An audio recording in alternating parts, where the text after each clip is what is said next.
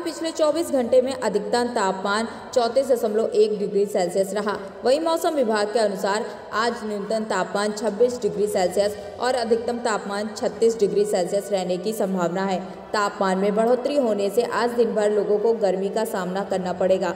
वहीं शाम को बूंदाबांदी भी हो सकती है।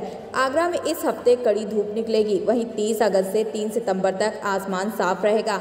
इस बीच बारिश के कोई भी आसार नहीं है। इससे गर्मी और भी बढ़ सकती है। वहीं मौसम विभाग ने बताया है कि इस हफ़्ते अधिकतम तापमान सैंतीस डिग्री सेल्सियस तक पहुँच सकता है। ब्यूरो रिपोर्ट आई